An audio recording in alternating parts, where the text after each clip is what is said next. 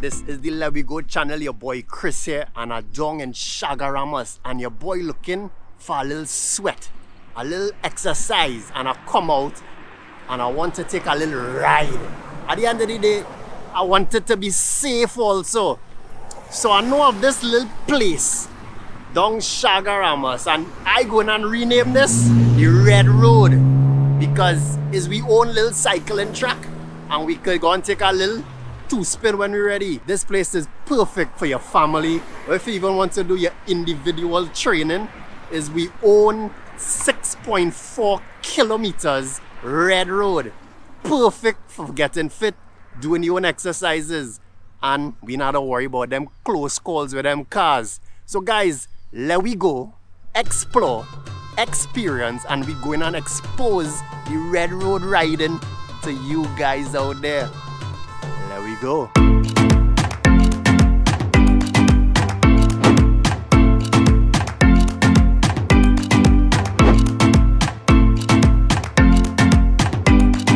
So if you're starting off from the Williams Bay side where I started, one of your first things that you're gonna realize and notice and have an eye full of is the Williams Bay whereby they have its own boardwalk really really nice amazing scenic stuff across the road it have its own car park. Here will usually be ram out around this time but you have the restrictions. At the end of the day you could ride next to it you could run next to it you could walk next to it you could carry a children and stroll next to it and just taking some real beautiful scenic sights and taking some good fresh salt water. And literally right next to Williams Bay is Pier 1, the very famous Pier 1. Much known for all of their fetes and events and stuff like that, but actually it's a marina. A lot of people host their boats there and they put them up to dock it and clean it and all these different things. But trust that I don't know nothing about that aspect of things. I only know Pier 1 for fetes. And one of my very first not so good experiences with alcohol was right here in the Pier 1. And I'm sure many of you have many moments like that. Leave it down in the comments below if you ever get a little bit crazy. And of course you can list all the fetes that you have been to at this beautiful place for all of these great fetes.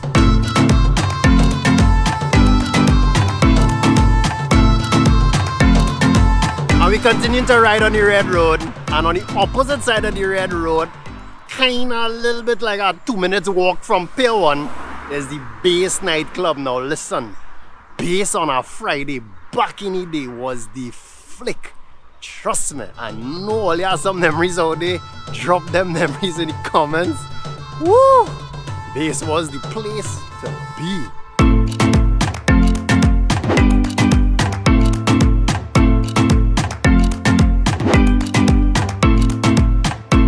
Trinidad and Tobago, yeah, we are we own adventure park. It's called Five Islands. Your boy never went it. And you wouldn't know if I went it because of course you guys would have come with me. But till it open, this kind of where it is down in the back here. Check it out, they had a huge car park. It just have a set adventure thing to do with go-kart and all these different things. I never went so I can't speak on it. I know many of you guys have already went, so just leave your experience how it was. So I'll kind of have a little heads up as in what to expect. But at some point when they do open, yeah man, you'll be checking out Five Islands. So next to the Five Islands, there is the Military Museum. And I ain't sure if I'll ever be driving down in Chaguaramas and you see a whole BWIA plane just park up at the side of the road. Well, it's right inside of here. You will have the opportunity to check it out. For the life of me, I don't know if they have been open, but when they do, if they do, whenever they do, check it out. Get some history in, because this museum have some pretty cool artifacts. As we continue to ride on the Red Road, right behind me is the Coast Guard Training Center down in Chaguaramas. Now I remember I was a real young fella and my godfather took me to go on one of those military vessels from the US that came into our waters and we could have take a little dinghy out it and check out this vessel with all of these monster bombs and guns and real serious thing I talking about that is a little, little fella. So I don't even know if them things has ever happened again. But trust me, I's a big man now and I still remember that. So maybe somebody should organize something like that. Bring in these vessels and allow people to go and see and just explore. At the end of the day, this is the Coast Guard Training Center.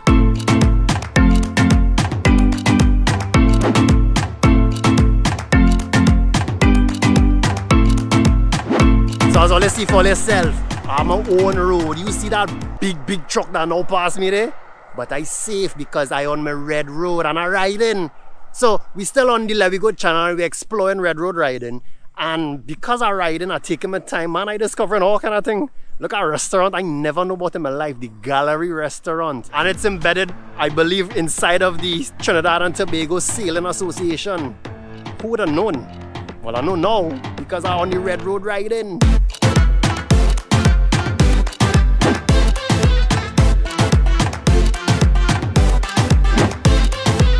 Enough, one of the things that I really remember this particular venue for is Song Clash. It had all kind of different events that's happening there, fete and event and, and wind down low and all these different things. But boy, my younger days, I used to come here when it used to be called Mobs 2 and his song clash. You're hearing some of the greatest song clash and dub plate and the whole works. And of course, big artists. I remember I came to see Sizzla down in the Mobs 2. That's what it was called before they renamed it O2 Park. But still, big up yourself O2 Park. List the type of events you guys have been to, where there's O2 Park, where there's Mobs 2. We continuing to ride the Red Road.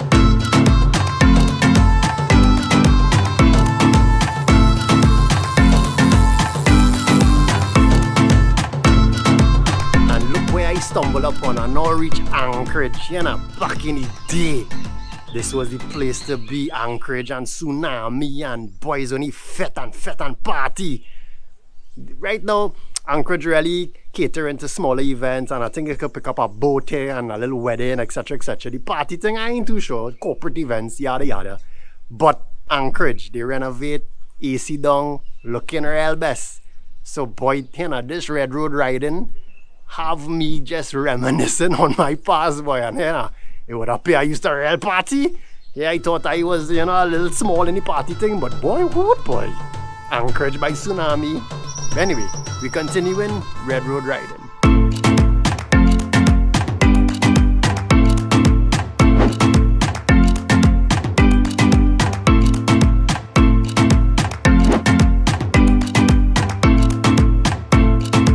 It's just amazing to really see parents coming out with their kids and they have a safe place to ride.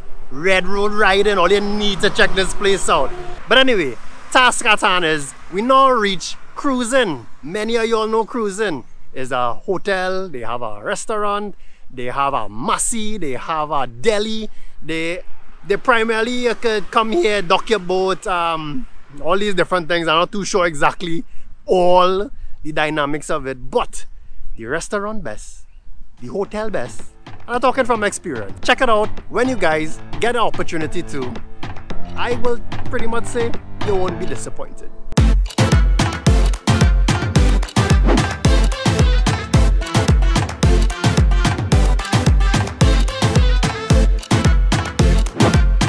Man coming down here is only memory lane I'm telling all you. I now see a sign that say the lure.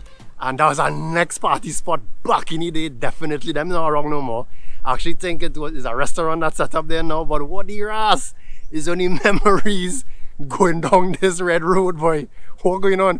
Anyway, so this is our next joint where you could pick up some food and I think it have a laundromat, it have all kind of different things. I do not know all of the details. You guys down here help out your boy because I don't know everything. So list all of the different things that you could get in this vicinity here. I'm not sure, please forgive me. But at the end of the day, it's Red Road riding. Memory lane for me. You guys, check it out. Bring out your bike, bring out your best shoes, and just get some exercise in. There we go.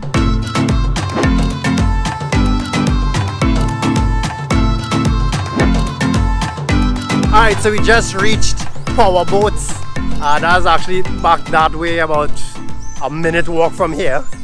And why I decided to come down here, it's a little cooler down. So, oh, there's only hot sun, boy. So powerboat is a marina where you could dock your boat and clean your boat and fix your boat and all these different things with boat life.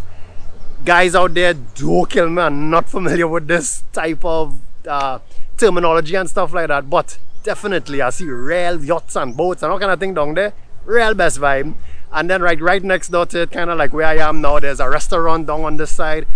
Sure many of you are familiar with it. If you don't know, well, hmm, I'm, I'm gonna encourage my viewers to let you know. So tell everybody which restaurant you could find right next to Power Boats.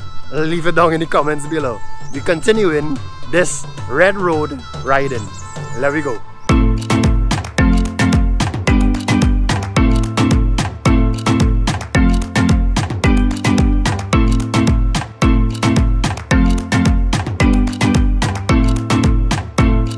Right now, I discovering all kind of thing down here just because you know you slow down the pace, you speed and cross the road. I come across a, a hotel I never know about this hotel, West Palm Hotel. Any all ever stay at this hotel? I mean, it might be opportunity sometime in the near future. Come and check out the hotel. I never hear about this hotel before. But guys, leave it down in the comments below because it might be somewhere I want to check out. How is West Palm Hotel?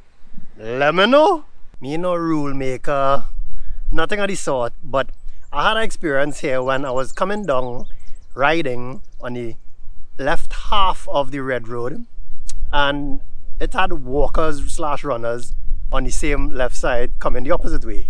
So I was forced to go onto the red the, the right half of the road. So I didn't want to make no rules or no problems or anything, but I just kind of applied the driving um, philosophy for Trinidad whereby you just kind of ride on one half of the road and the next half is for the other direction, your oncoming traffic. So these little pillars that you're seeing here, they kind of form somewhat of a middle ground, a separation ground. And I just assumed that the left half of that is for traffic going one direction and the other half of that is for traffic exiting the other direction. I don't know, I, I don't make no rules, but maybe a good suggestion that people can of do that. I mean, just a suggestion, no problem. Back to the Red Road riding.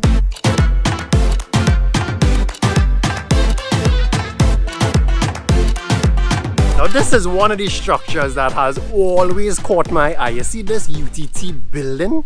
I really, really find that they did a pretty awesome job on the architecture on this building. It is really spectacular. For the life of me, I don't know if it is still in operation. It seems very dead right now, but I know that you, the place kind of on lockdown, so you can't really do much and go to school, so everything is virtual. So they have this good and it's bad with its COVID because now you don't have to physically go to class and stuff anymore. But wow, what a beautiful building and it just here. Uh, but it still looks amazing. Any of you students that are watching this video, yeah, just comment below. Big up your school, UTT. Big up all yourself.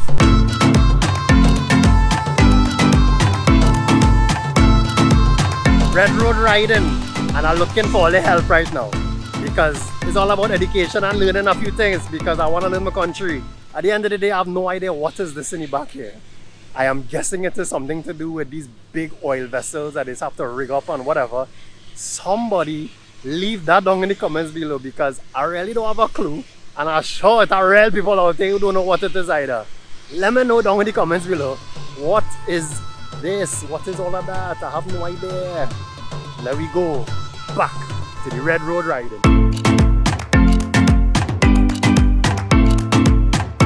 So we have come to the end of the Red Road riding. 6.4 kilometers of red road for as best safety as possible for you, your family, as a rider, as a runner. Come out, guys, bring the whole team out and enjoy the red road. I mean, it could be as safe as, as it possibly can. So guys, it still have a speed limit down on the western main road, which is 50 kilometers. All you cool it down a little bit when they come down here because you have families riding and enjoying themselves and people just trying to get a little exercising and enjoy the atmosphere. So I just need to tell you guys thank you all so very much for joining us on this Leh We Go Red Road riding and all of the different questions that I have that I posted to you guys which is where is this place because this is the Caribbean Dockyard.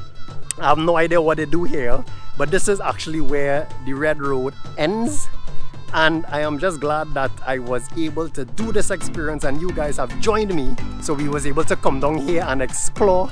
I was able to experience it and I fully enjoy it. And I have just exposed it to you. What's the excuse for not coming down here again? you have none. 6.4 kilometers. Come down here with your whole family. Enjoy the thing from Williams Bay all the way down to Caribbean Dockyard. Guys I will see you in the next one. Boom. I don't know who tell me to come out in this blazing hot sun. Of course, I ain't no hat. Just have a helmet because you know you gotta be safe and everything. And I wanna come out the sun so bad I forget to tell all you. Yo, like, comment, subscribe. All in all, this red road riding wasn't a bad idea at all. Fully enjoyed it. What I forgot to do is big up my buddy who loaned me his bike. Michael Sinclair, much appreciation my brother. Thank you so very much for loaning me your bike. Your bike rides really really good. Real nice have me contemplating that I should get a bike. I just kind of don't have somewhere to put it right now, like no storage area. But we go figure that out. So, thanks guys for staying here with us on the Red Road Riding on the We channel. So I'm definitely gonna see you guys in the next one. Blessings!